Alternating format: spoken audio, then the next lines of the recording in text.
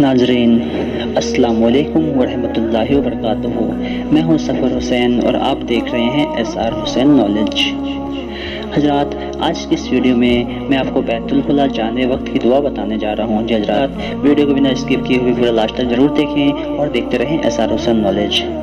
हजरात, जब भी हम बैतुलखला जाएँ, यानी कि पेशाब या पैखाना करने जाएँ तो सबसे पहले हम बायां कदम अंदर डाल के जाएँ। जी हजरात और ये दुआ पढ़ें, अल्लाहुम्मा इन्नी आउज़बिका मिनल खबूसी वल खबाइस। जी हजरात, आप एक बार और सुन लें, अल्लाहुम्मा इन्नी आउज़बिका मिनल खबूसी वल खबाइस। जी हजरात, ये दुआ पढ़कर हम अंदर दाखिल हों और याद रहे कि हमें उल्टा पैर डाल के अंदर दाखिल होना है। जी हजरात, जब आप बैतुल्ला से फारिग हो जाएँ, यानी कि पेशाब पैखाना करने के बाद फारिग हो जाएँ तो सबसे पहले आप अपना दायां कदम बाहर निकालें और पढ़ें गफरान का। जी हजरात।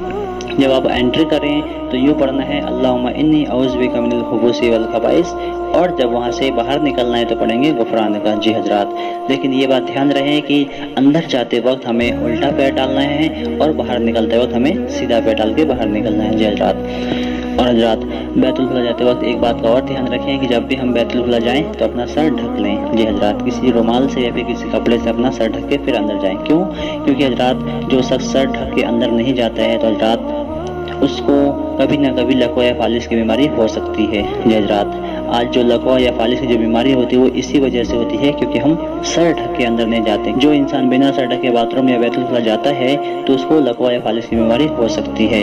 तो हजरात आप इससे परहेज करें और अपना सर ढक कर ही बैतुलखला में जाएँ। अल्लाह तबारक से दुआ है कि हम इस बात पर अमल करें तोफ़ी फरमाएँ।